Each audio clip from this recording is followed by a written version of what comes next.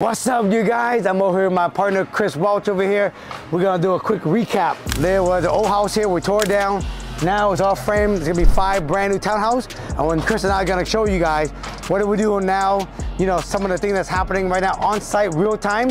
And we're gonna actually share with you guys. If you ever building this kind of stuff, these are the things you wanna look out for. Everybody always asks this question, Chris.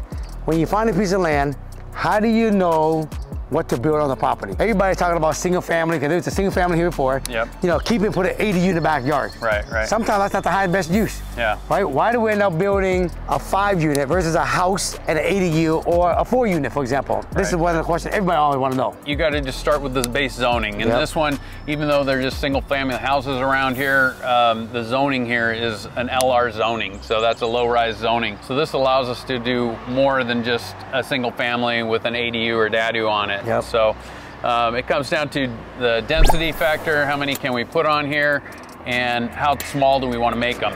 Uh, in this case, we did look at doing five to six units. Right. We kind of played around with uh, different orientation of the site. Big factor for us is always parking. We're standing here in the alley on this one. We've got good parking access from the alley. We don't like to build uh, in the city without parking for at least half of the units is Yeah. kind of general rule of thumb. We had a choice to do six. Yes. The problem with that, you guys, is that it would just shrink the unit down. Yep. And we weren't sure if that was going to be the most sellable in price or the most sellable when we get, or the most uh, rentable for the highest rent. Yeah, Right. and the size of the rooms inside al- also become a factor, Yeah. and the number of rooms. If we want to get three bedrooms, which is you know really the the target for us, we like to have three bedrooms in rental units or sale both. Sometimes we have to go down to a two bedroom unit, Yeah. and if we did six. We probably end up with all two bedrooms Yeah, and and, two bed- smaller units. Yeah. And so we decided to stay with a little bit bigger unit, get some three bedroom configurations. This tri unit right now is pretty much all framed out. Yep. The duplex is halfway done. Right.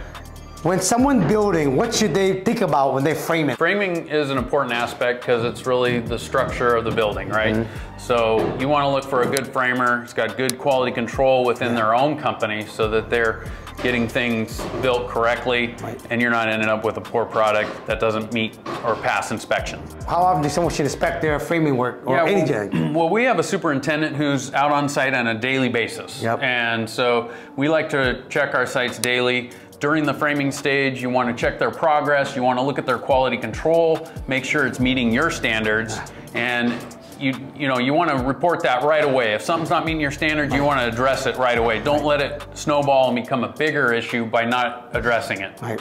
So after we get done from framing now, what's next after framing? So we'll get a framing uh, inspection on all the hardware, shear walls, structural components, and then our plumber will come in and he'll start running all the plumbing piping. We call that rough in stage of plumbing.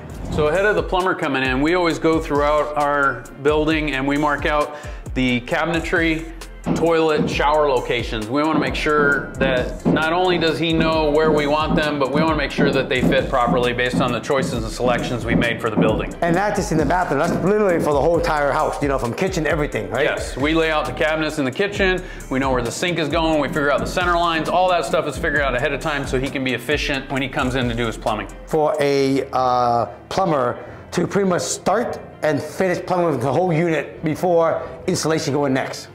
Yeah, the plumber will probably install, or, uh, install this one unit in maybe three days for a rough in, um, and then he'll move to the next unit and the next unit. So in this triplex, it'll probably take about seven days or so, maybe seven or eight days. Just depends on how it flows through. What does it mean by rough in? So most people might not understand what that means. Yeah, rough in is we're putting in the pipes, everything that goes inside the walls, and then we're stubbing things out of the walls for your sink connections and things like that. And then the next phase will be what they call finish stage, Right. and that'll be later on at the end of the project when we come back to install sinks and fixtures and all the shiny, pretty stuff. Now after all the roughing for the plumbing, Chris, what's after that?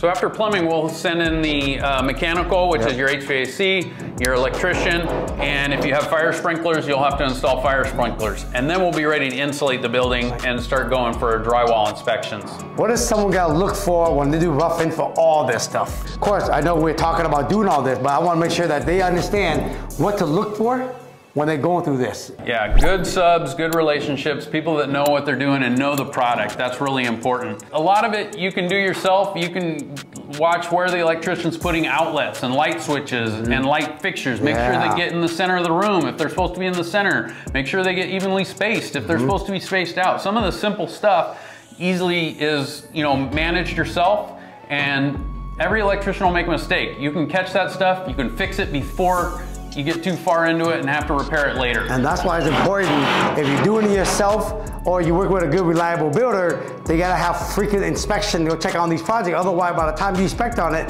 they already got everything roughed in and the switches is literally somewhere, not even in the right, or sometimes behind the door. Yeah, yeah. You know what I mean? So, uh, but that's what you gotta look for, okay? So that after all that, the insulation go in, correct? Yeah, yep. Yeah. And we'll get an inspection on all those rough-ins. We'll hang the sheetrock and we'll get going to paint and cabinetry and move on to the finishing stages. You said now finishing is coming up. So tell me what finishing means. Yeah, so after we get the drywall in, we'll paint it, we'll start bringing in all the millwork and doors, cabinetry, get all that installed, and then we'll do a paint on the whole trim package, and then finishing. Yeah. All the electrical, plumbing, mechanical trims, and all the pretty stuff gets to go in. Railings, lighting, Final, Finalize it with uh, cabinet or uh, mirrors and shower doors, carpentry, and shelving, and you're good to go. How long does it take typically to build, let's say, a single family home or even a, a, a full unit townhouse site, or even a five unit townhouse, what we're doing right now, like time frame? You could be in a permitting cycle for a five unit building like this for anywhere from probably seven or eight months all the way up to maybe a year, depending on how com complex it is, right. how fast your consultants respond, how fast the city responds, there's lots of variables in it, so I would always factor in somewhere between seven to 12 months on something of this size. And that's just for permits, you guys, okay? Yes. So everybody always, oh my God, I want to do new construction, but you don't realize the time and the money, right? Uh, it takes to actually put one of these projects together. So you're a year into permitting. Yep. What does it take to build this five-unit row house out? Yeah, so then once you get to construction, uh, this project here is probably going to run us about 10 to 12 months. It's kind of in that, that, yep. that plus or minus of one year type of project. Um, a lot of factors go into that on supply, yeah. what's available, and uh, delays on appliances have been really difficult. All those kinds of things will factor into your schedule yeah. as well. And a lot of people don't realize this. We we paid almost a million dollars for this land, rounded up to a million dollars, 900 some thousand. And the bank usually want 25% of the land. Right. So you figure out a million dollars, 25% is 250,000. And then you got to go get plans and permits. How much it cost to plan a permit, survey, soft, you know, all this stuff up here. Yeah, yeah. So we'll put in another about thirty to fifty thousand dollars for permitting on a site like this, and it, you know it, per it, unit. Per unit. Times five. Times five. So you could be another two hundred thousand, maybe even two fifty into right. a site like this for your permitting. This is why you gotta have money to play new construction, not just go raise money from investors and think the bank's gonna give you enough money to pay the note every month. But if the interest rates are rising and it's eating up at your interest quick, like Chris said, you just have to start chipping out. You have to start paying with your own money. Thank God we're not there yet, but we got to move this project quick. So this is the non-sexy side of this whole thing. Yeah, and a lot of people might not realize that you know interest rates are not locked in on it's a construction not, loan. It's not. it's not like a typical mortgage. When we sign a construction loan, we're signing up for an interest rate that floats on the prime rate. So it can move. When the rate moves, we pay more. Right.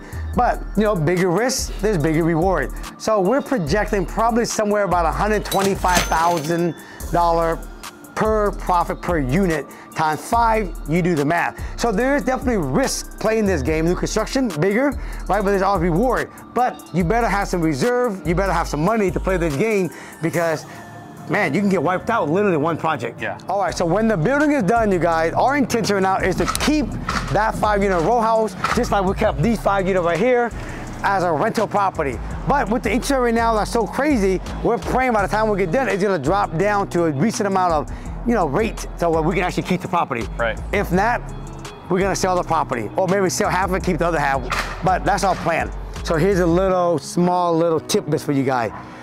Soon, Chris and I are putting together a course on how to actually rehab houses and build new construction from ADUs to multi-unit or even apartment building from A to Z on how to do the whole thing, right, uh, for everybody. So soon if you guys want to learn how to do this stuff that we're talking about, right, it's coming, baby. Stay tuned. See you then, all right?